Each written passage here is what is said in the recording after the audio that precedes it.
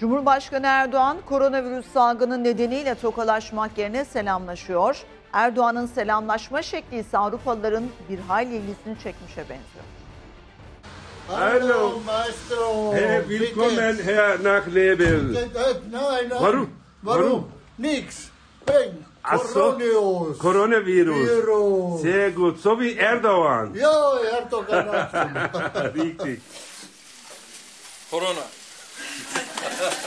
Her şey Cumhurbaşkanı Erdoğan'ın Brüksel'de katıldığı zirveyle başladı. Erdoğan bir dizi temaslarda bulunmuş ancak ikili görüşmelerde el temasından kaçınmış ve tokalaşmak yerine selamlaşmayı tercih etmişti. Erdoğan daha sonra yaptığı ikili görüşmelerde de tokalaşmak yerine işte böyle selamlaşmıştı.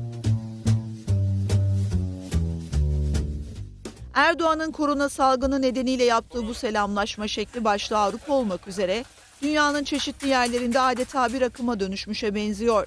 Hallo, Maestro. Hey, willkommen Herr Nachlebel. Nein, nein. Warum?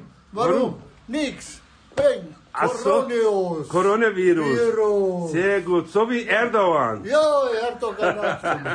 Richtig. Koronavirüsün en büyük darbeyi indirdiği İtalya'da bu iki esnaf arasında yaşanan diyalog sosyal medyada gündem oldu. Elini uzatan arkadaşına hayır koronavirüs var diyerek Erdoğan selamıyla karşılık vermesi büyük ilgi gördü. İsveç İstanbul Başkonsolosu Peter Eriksson da benzer şekilde tokalaşmamış ve Erdoğan selamı vermişti. O görüntü de sosyal medyada yankı bulmuştu.